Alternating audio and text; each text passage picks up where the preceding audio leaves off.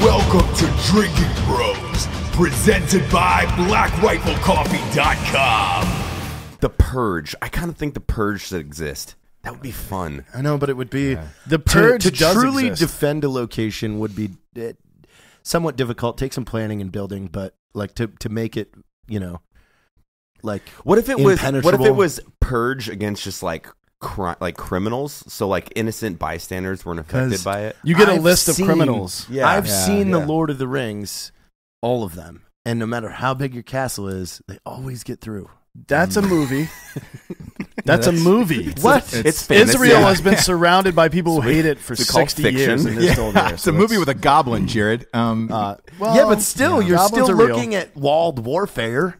I think we already have a purge, and it's a social purge, and it's people who are too dumb to know that you should vaccinate your kids. Yes. oh all God! It- Oh, the- and there's nothing worse than an- now that mm. legitimately you should be able to kick anti-vaxxers out of the community. You should- because no, you're tho- putting other people at danger. and all of their their kids should go on a fucking island together. If you're going to put Yes. somebody on an It's island, herd immunity. It's very basic science. Evan's got a I- counterpoint here. I, I don't think I so it. because they they identify as people that have had vaccinations. So, Oh, so you're good. technically speaking, You're I good. think they're good in today's today's world. You know, I identify as somebody that's been vaccinated against HIV. Listen, I'm, cu- I'm going to blast in you. there- I'm gonna get only up in them guts. against one vaccination, and that's the fucking flu shot.